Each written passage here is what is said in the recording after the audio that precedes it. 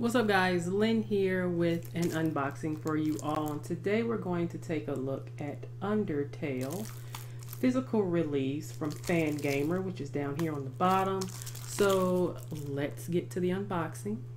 So we're going to shoot on over to the other camera and that way you can see this better.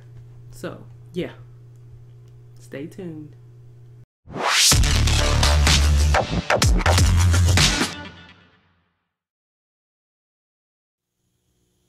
All right, y'all. So let's get to the unboxing here of Undertale for the Nintendo Switch.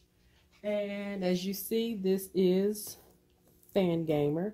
Fangamer on the website actually have a collector's edition or had a collector's edition that you could purchase there.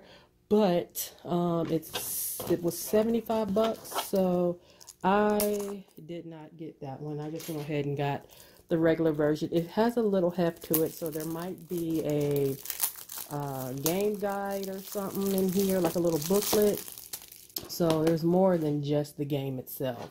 So let's take a look at the packaging first before we unbox to completely.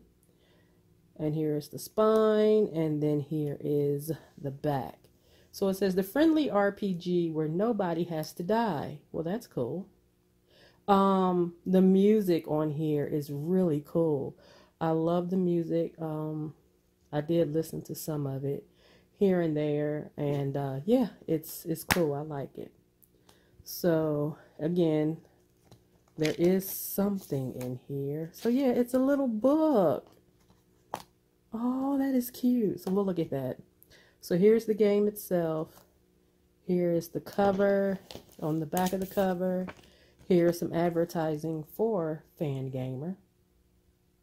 I have actually unboxed um, something from Fangamer. It was the um, Stardew Valley uh, Collector's Guide.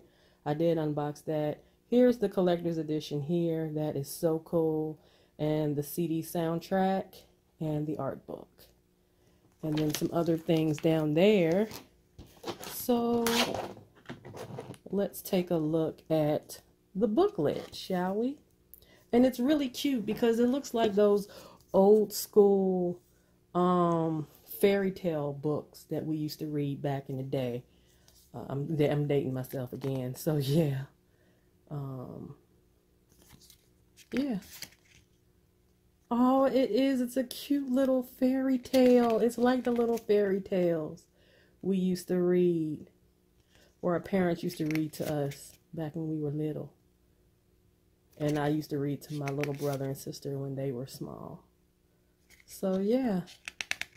Y'all can pause this and read it if this is something that you would like to do. But this is cute. I like little extras that they put in the packaging. So, yeah. This gives you, I guess, a little backstory to Undertale.